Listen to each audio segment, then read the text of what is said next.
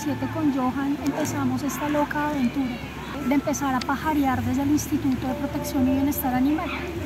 Lo que comenzó como un ejercicio de hacer un inventario de avifauna en parques distritales se convirtió en esto, para empezar a hablar de que la protección, el bienestar y la defensa animal no es solamente para perros y para gatos, sino para otras especies, ¿cierto? Para las aves, para los insectos, para los reptiles. Posiblemente el colibrí que estamos viendo puede ser o uno de estos o el Ornemis vestita o este. ¿sí? Digamos que este o este. Estos dos. Es que él dice que está alborotado en estos Sí, días es este. posible. Entonces puede estar que esté, digamos, estemos viendo cualquiera de los dos.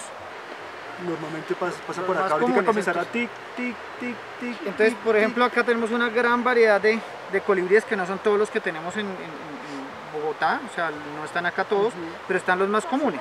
Entonces, cosas Sí, hermosas y gigantes y sorprendentes como estas que seguramente de pronto si vemos por ahí alguna, eh, por ejemplo esta, esta fucsia boliviana, se llama la que es de flor eh, rosadita, es la fucsia boliviana, eh, ella atrae muchos colibríes y esta que tiene el pico tan largo es precisamente para eso.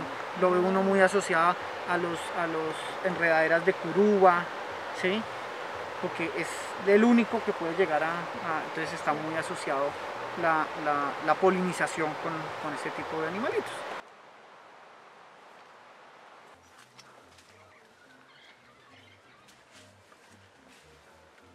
empezamos a participar en una mesa que se llamaba Bogotá Vive Natural. Eso surgió con la Secretaría Distrital de Cultura, eh, Recreación y Deporte.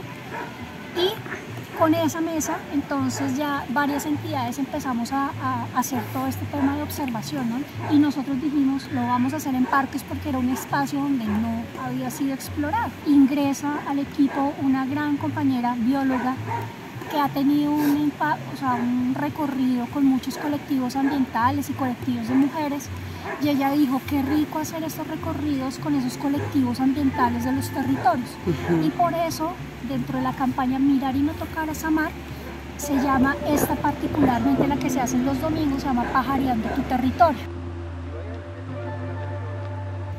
la biofilia, a eso se le, se le está diciendo ahora un término más sofisticado, la biofilia, como el interés, la afinidad.